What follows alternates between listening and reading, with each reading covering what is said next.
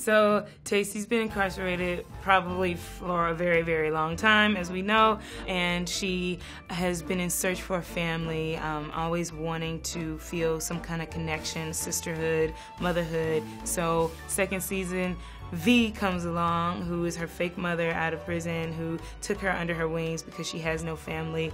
Um, totally finds out that she is not the person that she thought she was, even though she kind of already knew it.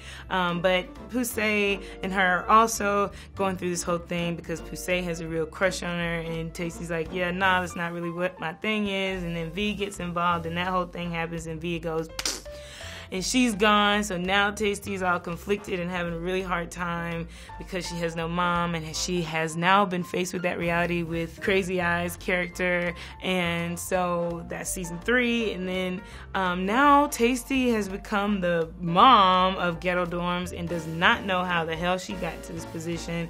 And season four, it is a whole other beast.